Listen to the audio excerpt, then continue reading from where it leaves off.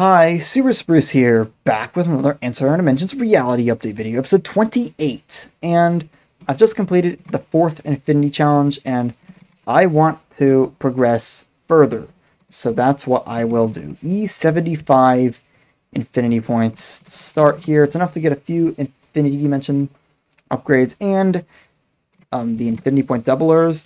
But the worst Infinity Challenge is coming up, and that is Infinity Challenge 5 it is worse than Infinity Challenge 4 because Infinity Challenge 4, it's, you can like get the galaxies pretty easily at first, and then you just do 7, 6, 5 for 3, 2, 1, and it's pretty easy that way. But with Infinity Challenge 5, you have to be a lot more careful with what you purchase because of it's more like Challenge 9 where the cost costs like go up. It's not as bad as Challenge 9 in that regard, but still, it's something I don't want to be stuck in for a long period of time. So E80 infinity points, it's enough to get more infinity dimension upgrades. I still haven't quite unlocked Infinity Challenge 5. Maybe there's some achievements I can get. I can probably get Error 909, which is get to infinity with only a single first antimatter dimension without dimension boosts, galaxies, or um, yeah, where that while in the second auto challenge two basically. That's a, that's what it's saying. So go to this um, buy one and oh, I just went into infinity challenge two instead of regular challenge two. Do this now. Do this, and it's definitely possible. There we go. There's error 909. Will help boost things even further. And then I should turn my auto buyers back on. Get any doublers I can or in Infinity Dimension upgrades. And yes, keep progressing. E81 Infinity points. I think it's going to start slowing down at this point, and this is where I'm going to need to do Infinity Challenge 5. So here I'm going on a long run because um, I was hoping I could get another galaxy, and I can wait for the Infinity Point doubler so I can just double my Infinity Points after I already get a lot of them. So this gets me E83 infinity points, which is another doubler and one of the first infinity dimension upgrades. But then after that, the upgrades are few and far between because the next upgrade is at E86. So I think this is a good time to go into Infinity Challenge 5. So this is why it's rough. I can't really automate any of it. The only dimension auto buyer I can leave on is the eighth dimension auto buyer. Everything else has to go. Well, except there's been a change to Infinity Challenge 5. And this is that the goal is higher, but the tick speed thing where everything of equal cost increases is not does not exist anymore. So I can actually leave the tick speed auto buyer on, and I probably want to leave galaxies and dimension boosts on, and sacrifice.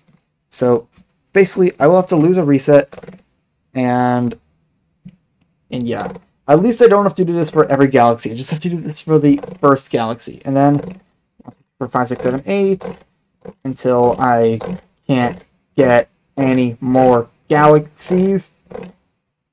I open I open the how to play menu accidentally with tab key because it's so close to the one key, and I'm just doing this so so quickly I'm looking through, I'm actually looking through my OBS instead of the actual screen because that's where it's closer to the 1 through 8 keys. And I can get all the way to 34, 35 galaxies and a whole bunch of dimension boosts. And I don't even know how close I am to beating this challenge, but it's definitely taking a while. I hope my keys are fine. Okay, 99%. It looks like I am almost there, so I can probably just start doing stuff like I can just start spamming the one key and it's probably gonna get yep, there we go. Infinity Challenge 5 is complete, which is the hardest challenge and has the best reward out of all of them. Galaxies are 10% stronger and reduce the requirements by one. The second part isn't really that important, but the first part is extremely good. Because anything that boosts galaxies is automatically very, very powerful upgrade. So now this yeah, gets me all the way to E92 infinity points, which is crazy. And this is a lot. I'm just going to max all these infinity dimensions. So, yeah, this challenge reward pushes me to E100 infinity points easily. So, there we go. E97. Wait just a little longer, and I will get up to E101. So that's like googol infinity points. Get a, get a whole bunch of these upgrades, which is really nice.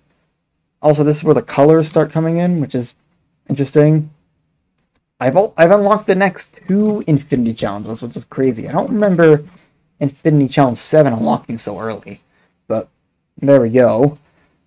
E106, E107, three more doublers, just one more of these upgrades, but the three doublers will help enough that I can probably get all the way to E108. I also get, you can get 50 galaxies achievements, which is nice. I don't, not sure if this one has a reward. It does a reward. Its tick speed is like just a little bit faster. Doesn't, not really powerful, but it, it every little bit helps. So E110 infinity points. It's probably around now where I want to start doing Infinity Challenge 6. So E111, get this, and then enter Infinity Challenge 6. It's, it's the one with the matter. I don't think it really matters all that much. As long as I can just keep getting galaxies and dimension boost. Should be easy. Boom. There we go. The reward is Infinity Dimension Multiplier based on tick speed. So I don't think it's the best reward ever, but it's still pretty good. Yeah, E114 Infinity points. It's enough to get a couple more Infinity Dimension upgrades and a few more doublers probably is going to prepare me for Infinity Challenge 7, which I would say is actually the third hardest Infinity Challenge because of how it just takes a while sometimes. It's the one that basically prevents galaxies from working, but makes, but in compensation, it makes the dimension boosts much stronger. So, yeah, there's that. I probably, I don't know how far I want to push. Probably E116 is, it should be fine. So let's enter Infinity Challenge 780, E10,000 antimatter, and yeah, just get dimension boosts. It does sometimes take a little bit of time, but I think the glyph boost really helps in this challenge. So there we go. Infinity Challenge 7 complete. This makes dimension boosts stronger. So E116 infinity points all the way up to E119 infinity points. It's enough to get a few of these, a few of these, I know it's so repetitive, but there's only one more Infinity Challenge to go, and that is Infinity Challenge 8. And then after that, I am going to unlock Replicanti. So now I've unlocked Infinity Challenge 8, and I think this is one of those challenges where I can basically go right into. I'm also getting a doubler here. Actually, I can, I can get E131 Infinity Points. This is really nice. This is definitely enough to beat the challenge, which I think this is where like where your dimension where the production like rapidly decreases where you start if you if you're not buying anything. But yeah, this challenge is really easy, and this means I can just do the final push to Replicanti. The reward is you gain a multiplier to answer dimensions 2 to 7 based on the first and eighth dimension multipliers. This gets me up to E135 infinity points, which gets me several doublers, and it gets me a few more infinity dimension upgrades, just the same as always. And this is where, yeah, Replicanti. E138, I can unlock the new infinity dimension right away. Actually, before unlocking Replicanti, because it's kind of weak in the beginning, I'm going to focus my efforts on the the fifth infinity dimension. So just one more run until I actually do stuff with Replicanti. Here we go, unlock Replicanti. So here's the thing, Replicanti is three times faster because of the, not the glyph, it's because of this reality upgrade, Replicative Amplifier. So because of this upgrade, I can start, or the Replicanti won't be as grindy as normal. However, there are, it's still going to be a grind. Replicanti at this stage is just extremely slow, and I do not have the really useful Replicanti related achievements. I the big one is is this safe where you keep my you keep your Replicanti and a Replicanti galaxy on infinity. So that's gonna that's gonna be rough. There's also another really good Replicanti related achievement. It's much further down. It's this one where I gain Replicanti two times faster under E308. And in this stage of the game, it will always be under three or under E308 infinity points. So basically, I can almost just ignore it at this point because there isn't much I can do with it. Like I can't even get okay, I can start getting these upgrades, but it still says almost three hours until I get more replicanti or and get infinite replicanti. So this stage of the game is just rough. I there's not much I can do to speed it up. It's just waiting for replicanti to get to a decent amount. So this is the kind of stuff I would do off camera. Now there is a stretch goal I'm going for, which is it's not, it's not an achievement, it's a reality upgrade. It is complete your first eternity without using replicanti galaxies. If I can get this, that would be amazing. I'm not sure if that's possible though. There's another achievement. It's, what is this one? All galaxies are 1% stronger. That's actually a really useful reward. That pushes me up to E156. I mean, I'm going to need all of these achievement rewards I can get if I want to actually get unlock this reality upgrade because there's a good chance I'll be getting 28 reality machines, which is enough to get um, this and this. And while this is not going to be useful at this point, it'll be useful in the late game.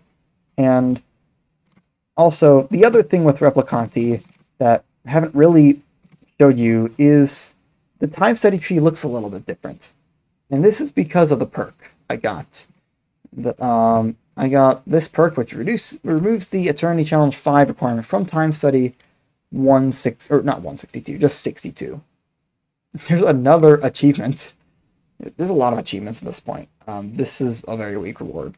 It's almost non-existent.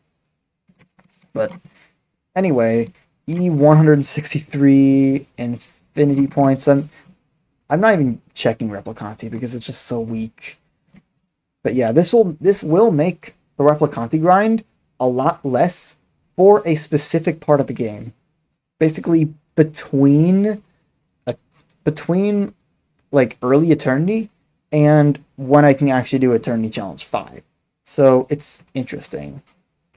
But unfortunately, at this point, looks like the game's slowing down. Maybe it's probably because of the Replicanti luck. Because early on, Replicanti is heavily luck based, which really it, it sucks that it's like that. But I mean, yeah, it's just it's kind of a poorly designed mechanic. And it feels like it was just designed just so you could get to E308 infinity points with the least amount of effort. But it, it get but it becomes like a lot more useful the, the later you go into the game. So I think at this point I'm just gonna be doing these runs off camera. And next episode I'm gonna I'm gonna see just how possible it would really be to get the get cosmo cosm cosmically duplicate unlocked because it is just such a good upgrade to get.